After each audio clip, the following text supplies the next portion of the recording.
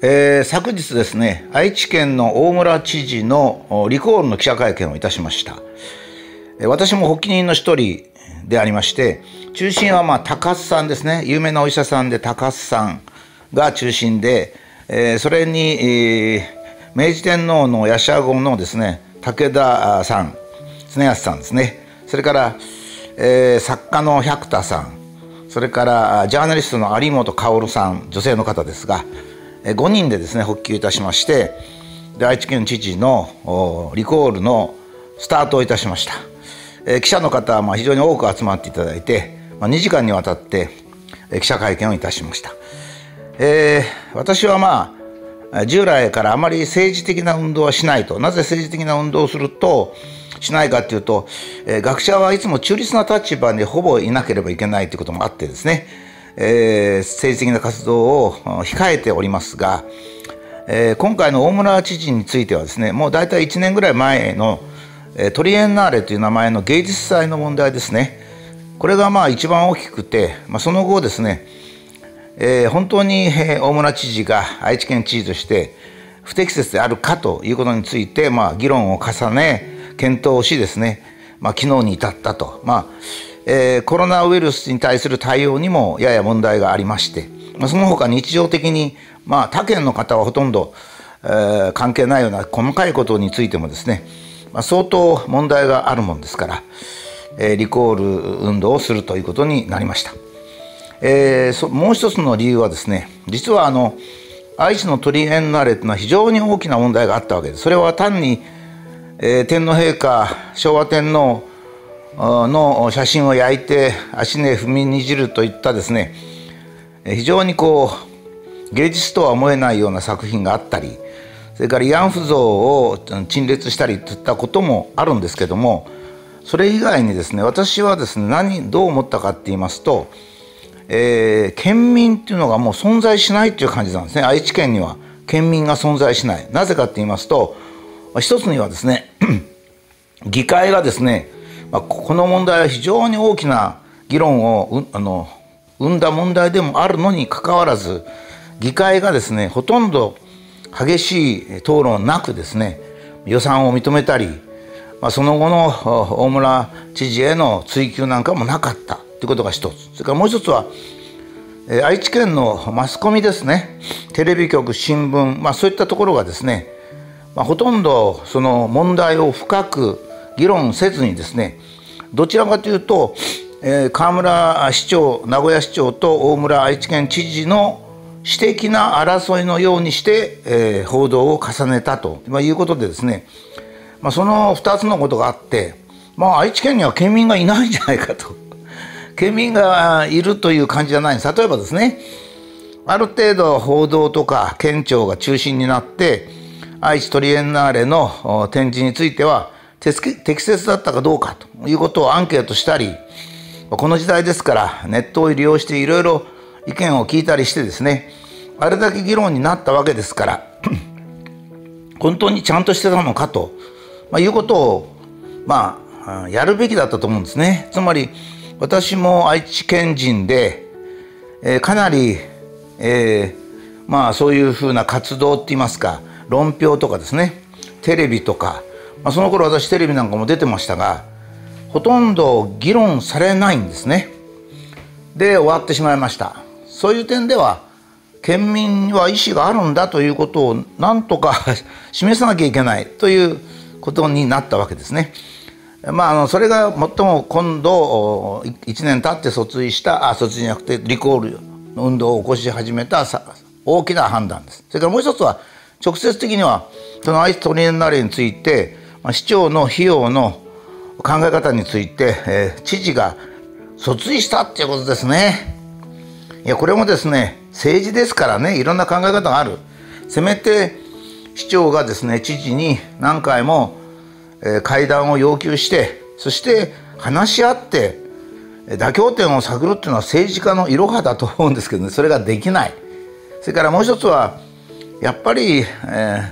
ー、知事っていうのはその県のその県の象徴的存在ですからねやはり品格がいると思うんですよ。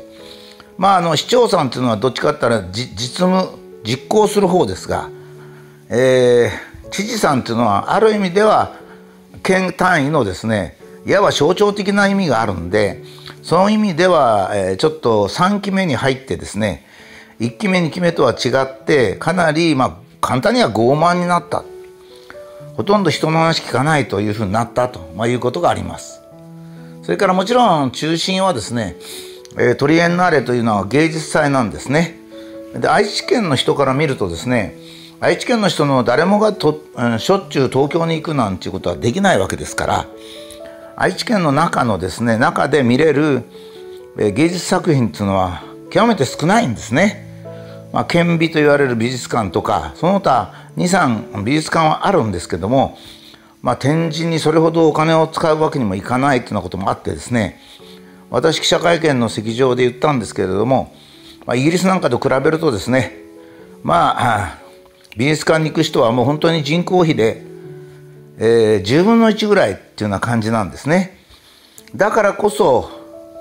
愛知トリエンナーレという芸術祭っていうのは重要だったしかもまあクラシックないろんな絵画を展示するとかいうことよりかですねどちらかというとモダンアート、まあ、そういったものを中心に展示をする話題性もあったんですね。ですからあまあ愛知県全体の芸術とか学問というところを考えるとですね極めて、えー、大切な、えー、芸術祭だったと言えると思うんですね。それでえー、それは何て言うんですかね、えー、うん、貴重な機会をなぜああいう形でやったかという問題があるわけですね。それからもう一つは、えー、表現の不自由点という名前がついておりましてこれはまさにマスコミ受けするような内容あの題なんですけどね表現の自由が侵されてる。でまあ表現の不自由点というのは名前もいいですね。ところがですねあの主力の展示は昭和天皇のお写真を焼いて踏みにじるとか特攻隊とかそれから兵士の寄せ書きをですねある形にしてそしてまあ愚かな日本人と、まあ、いうようなタイトルをつけたりですね。それから、えー、でっち上げであることがもう分かってて朝日新聞がでっち上げをその、うん、誤っている。誤った慰安朝鮮の慰安婦問題ですね。これは事実ではないわけですから芸術でも何でもないんですがそれを、まあ、人形を展示するというですね、えー、まさに反日の人たちが日常的にやることなんですがこれは全然不自由じゃないんですよ。それはね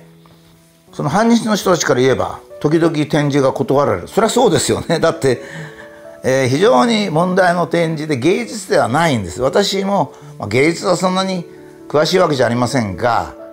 えー、多摩美術大学の先生っていうのを、まあ、20年ぐらいやっておりまして、まあ、いろんな先生からその機会に教えていただいた、まあ、芸術というものはどういうものであり、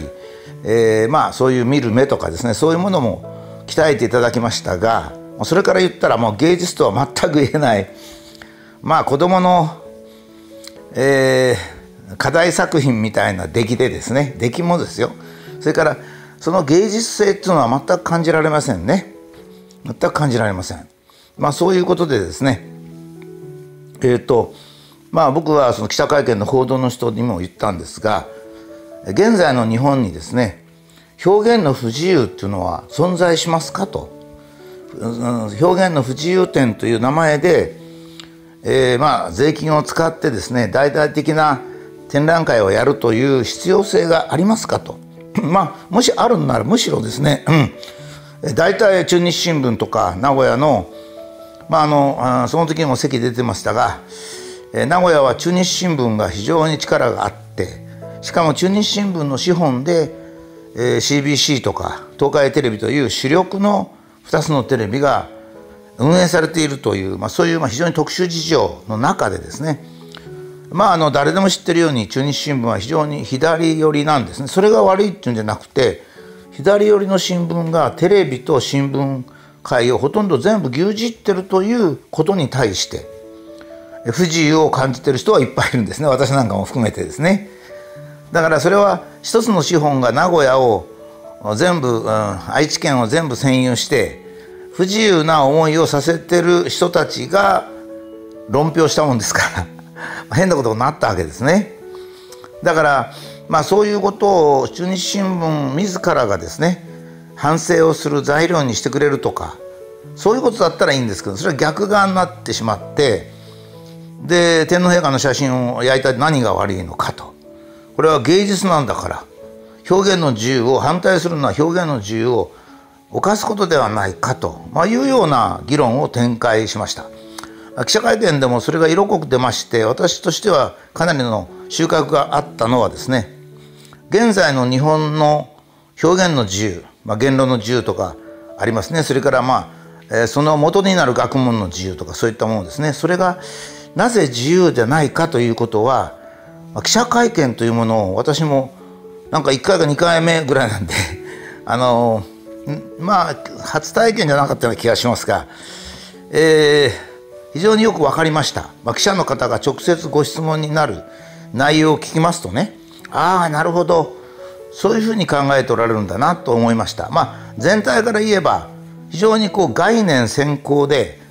本当にこのことがどうなのかということが抜けているということと、まあ、これはあの社会部の記者が来られたのか何の記者が来られたのかちょっとそこがわからないんですが、えー、社会部的ですね。つまり、えー、表現の自由を議論するんですからもうちょっと哲学的なきちっとした質問が欲しかったんですけども、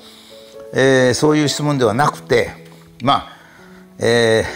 ー、なんちゅうか記事を書く上でちょうど面白半分に書くためにいや知事はリコールするのはいいけどその次は誰にするんですかとかですねそういうその